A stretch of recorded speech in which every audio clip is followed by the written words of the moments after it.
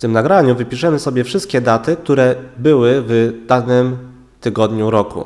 Chcemy na przykład dowiedzieć się, jakie daty były w 28 tygodniu roku 2015. Posłużymy się funkcjami daty i dzień tygodnia. Aby tego dokonać, wpiszmy najpierw funkcję data i chcemy na przykład wyświetlić 1 stycznia roku, który jest tutaj wpisany, czyli sobie mogę użyć tej wartości 2015, miesiąc 1, dzień 1. I oczywiście nam się wyświetli 1 stycznia tego oto roku. Jeżeli chciałbym się dowiedzieć, jaki dzień jest dokładnie 100 dni później, po 1 stycznia, to bym po prostu zmienił tą formułę i na przykład dopisał plus 100. Czyli okazuje się, że dzień, dzień setny po 1 stycznia 2015 to był 11 kwiecień.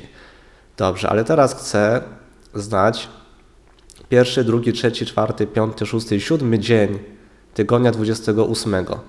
Więc co mogę zrobić? Możemy zrobić to w ten sposób, że otrzymamy sobie ostatni dzień tygodnia poprzedzającego tydzień wyświetlający się w tym miejscu. Czyli chcemy otrzymać ostatni dzień 27 tygodnia. Czyli sobie zaciągniemy tydzień wpisany w tym miejscu i odejmiemy 1, czyli w tym miejscu mamy teraz liczbę 27. Jeżeli to pomnożymy razy 7 dni, to wtedy w tym miejscu będzie ilość dni, które minęły od 1 stycznia do ostatniego dnia tygodnia poprzedzającego to ten tydzień 28. I zobaczmy, co otrzymamy. Otrzymaliśmy 9 lipca i to nie jest prawda, gdyż tygodniu 28 w roku 2015, jeżeli byśmy zajrzeli do jakiegokolwiek kalendarza, były daty z zakresu od 6 do 12 lipca, więc dzień poprzedzający tydzień 28 powinien się wyświetlić jako 5 lipca, a nie 9. Właśnie dzieje się tak dlatego, że 1 stycznia 2015 roku nie był pierwszym dniem pierwszego tygodnia roku. 1 stycznia był w czwartek, stąd trzeba odjąć od tej daty tyle dni, ile było w pierwszym tygodniu przed 1 stycznia, czyli akurat 3. Jak tego możemy dokonać? Najpierw możemy sobie zrobić to w oddzielnej funkcji. Piszmy sobie funkcję znowu data, żeby się wyświetlał rok 2015, 1 stycznia.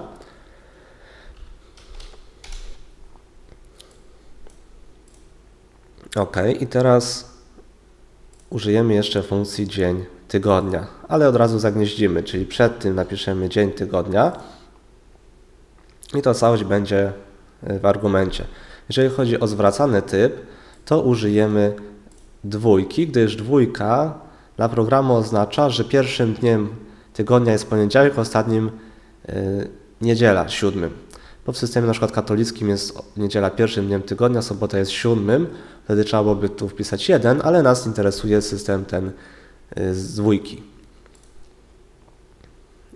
I teraz oczywiście musimy zmienić, zmienić typ na ogólne, czyli widzimy, że 1 stycznia 2015 roku był czwartkiem, więc trzeba tyle dni odjąć w tym oto miejscu. Więc sobie skopiuję tą formułę i tutaj wstawimy w to miejsce. I teraz wyświetla się prawidłowo, że ostatnim dniem tygodnia poprzedzającym ten tydzień był 5 lipiec. Też możemy sobie łatwo w jakimś kalendarzu sprawdzić, że 28 tydzień był pomiędzy 6 a 12 lipcem. No i teraz oczywiście powinniśmy mieć tutaj 6 lipiec, czyli poniedziałek już tego tygodnia. Możemy tego dokonać prosto, zrobić sobie tutaj pomocniczą taką listę.